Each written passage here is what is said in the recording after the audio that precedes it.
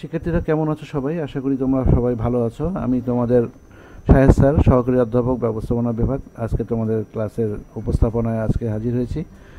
আজকের ক্লাসে উৎপাদন, ব্যবস্থাপনা, বিপণন যে ছয়তম অধ্যায় অধ্যায় ছয়ের পণ্য ডিজাইন আমরা পড়ছিলাম। তো আজকের সেটারই কন্টিনিউশন ক্লাস তো পণ্য ডিজাইনের আজকে কী কী আছে? আজকের বিষয় হলো পণ্য ডিজাইন নির্ধারণে প্রভাব বিস্তারকারী উপাদানসমূহ।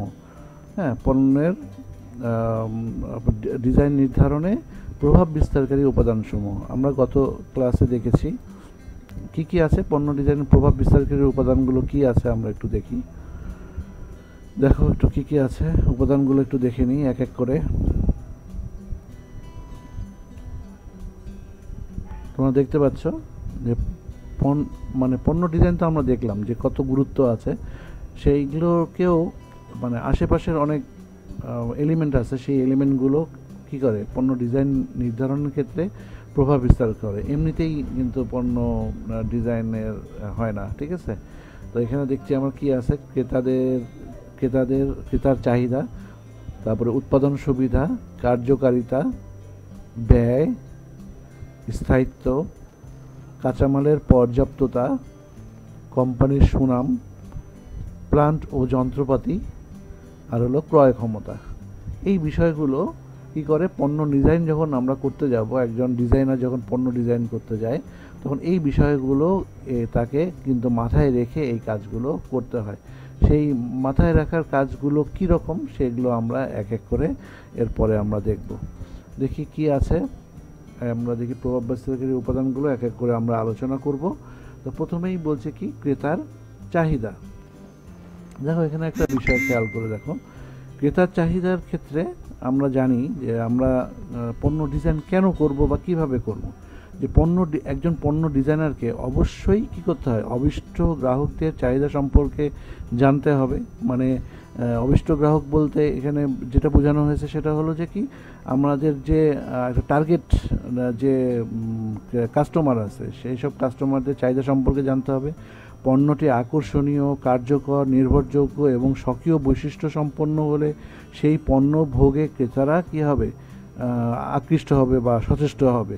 এবং অর্থাৎ ভোক্তাদের চাহিদা অনুযায়ী পণ্য ডিজাইন করতে পারলে কী হবে? ভোক্তারা উক্ত পণ্যের প্রতি মারাত্মকভাবে অনুগত থাকবে।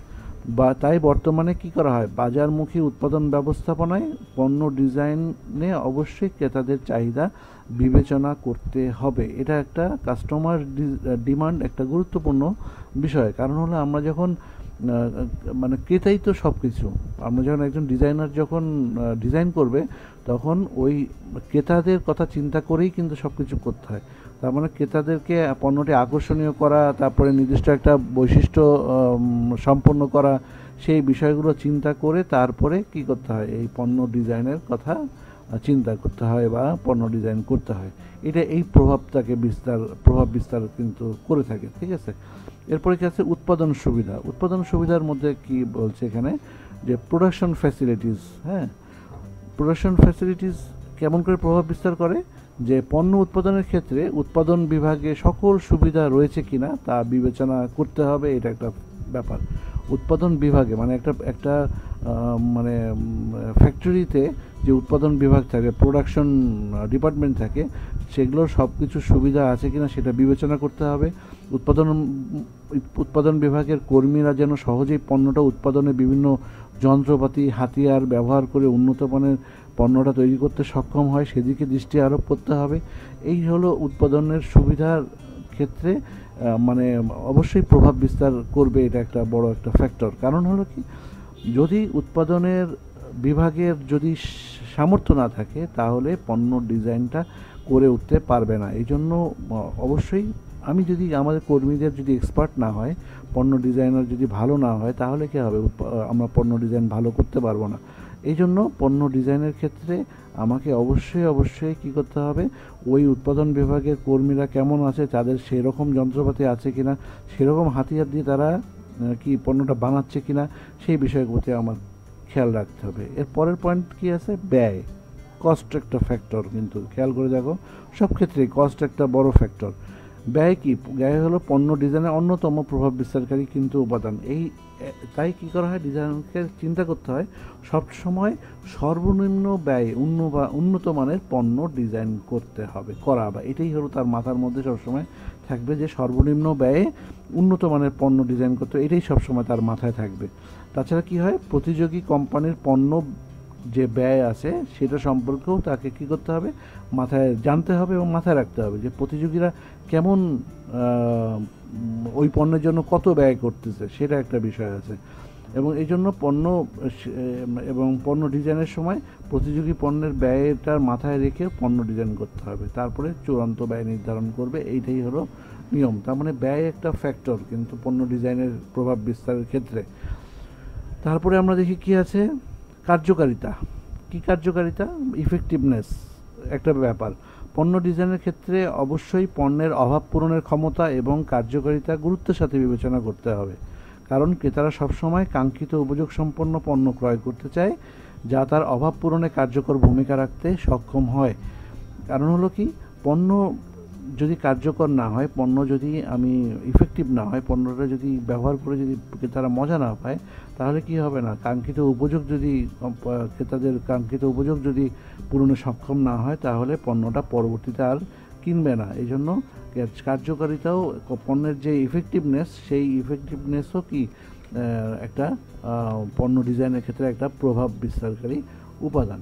আর একটা কি আছে? স্থায়িত্ব বা স্ট্যাবিলিটি পণ্যের মানে আমি পণ্য কিনলাম, সেই পণ্যটা কিনে যদি দীর্ঘদিন ব্যবহার করতে না পারি, সেই বিষয়টাও কিন্তু এখানে নজর রাখতে হবে আমাকে। এটাও একটা বিষয়।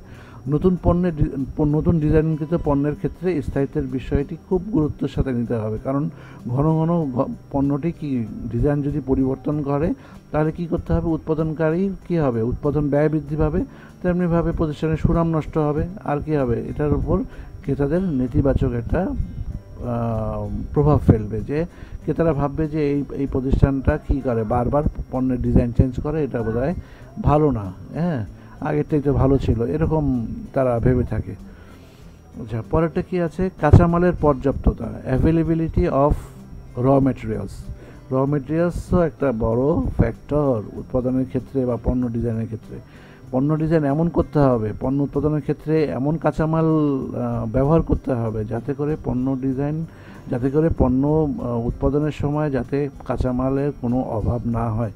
কারণ কাঁচামাল এমন মানে পণ্য ডিজাইনের সময় এমনভাবে পণ্য ডিজাইন করতে হবে যাতে যে কাঁচামালগুলো অ্যাভেলেবেল যে কাঁচামালগুলো সবসময় পাওয়া যায়, সেই কাঁচামালগুলো দিয়ে ওই পণ্য ডিজাইন করতে হবে। তা না হলে কী হবে? পরবর্তীতে প্রয়োজনের সময় যদি কাঁচামাল না পাওয়া যায়, তাহলে উৎপাদন ব্যাহত হবে এবং সুনাম কী হবে, নষ্ট হবে। এটা খুব সিম্পল ব্যাপার। তারপরে দেখো কী বলেছে? ক্রয় ক্ষমতা পারচেজিং পাওয়ার এটাও কিন্তু পণ্য ডিজাইনের ক্ষেত্রে একটা গুরুত্বপূর্ণ বিষয়। পণ্য ডিজাইনের উপর ক্রেতার ক্রয় ক্ষমতার উপর প্রভাব বিস্তার করে থাকে, এটা একটা ব্যাপার। কারণ কারণ কি? কারণ হলো পণ্য ডিজাইন আকর্ষণীয় হলে ক্রেতার ক্রয় ক্ষমতা না থাকলে ক্রেতারা পণ্যটি ক্রয় করা থেকে বিরত থাকে। কারণ হলো এই, এখানেও একটা ব্যাপার থেকে থাকে যে, যদিও মানে আকর্ষণীয় পণ্য হোক, যদি ক্রয় ক্ষমতার ক্রেতাদের ক্রয় ক্ষমতার বাইরে চলে যায়, তাহলে সেই পণ্যটা ক্রয় করবে না। সুতরাং ডিজাইন করার সময় ক্রেতার ক্রয় ক্ষমতাটা মাথায় রাখতে হবে। কারণ ক্রেতারা যদি ক্রয় ক্ষমতাটা মাথায় না রাখে, তাহলে কি হবে না? তখন বেশি মানে উৎপাদন, ডিজাইন এমনভাবে করল যে ওই উৎপাদন খরচ বেড়ে গেল, ওই পণ্যটার দাম বেশি রাখতে হচ্ছে। তখন সাধারণ ক্রেতারা বা যারা কম আয়ের ক্রেতারা, তারা ওই ওই পণ্যটা তারা কিনতে সামর্থ্য হচ্ছে না এবং এতে করে প্রতিষ্ঠান বড় ধরনের ক্রেতা হারানোর সম্ভাবনাই থাকে। এরপরে দেখি কি প্লান্ট ও যন্ত্রপাতি। প্লান্ট এবং মেশিনারি কি আছে? সে- এইটাও একটা ব্যাপার। মানে শুধু যে কাঁচামাল না, সেটার ক্ষেত্রে না প্লান্ট এবং যন্ত্রপাতির সহজলভ্যতার উপরও পণ্য ডিজাইন নির্ভর করে। কারণ হলো, কোনো কোম্পানিতে যন্ত্রপাতি সহজলভ্য না হলে পণ্য ডিজাইন করা কি করা সম্ভব না।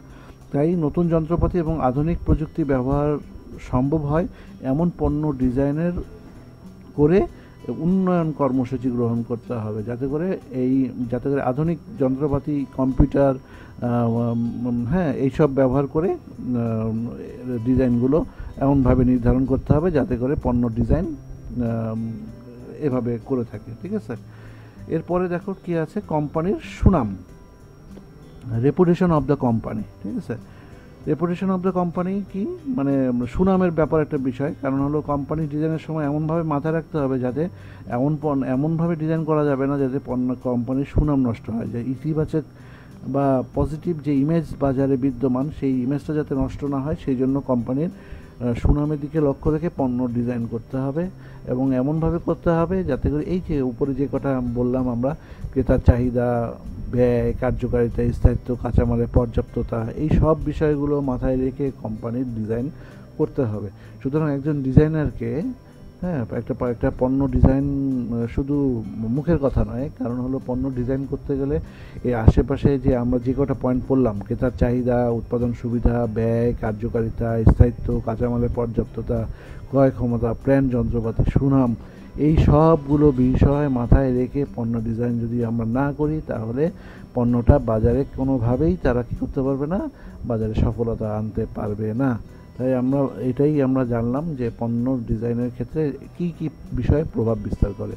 সুপ্রিয় শিক্ষার্থীবৃন্দ, তাহলে আজকে আমরা দেখলাম পণ্য ডিজাইনের একটা টপিক পড়লাম। পণ্য ডিজাইনের যে ইয়েগুলো, প্রভাব বিস্তারকারী উপাদানগুলো, সেগুলো আমরা দেখলাম।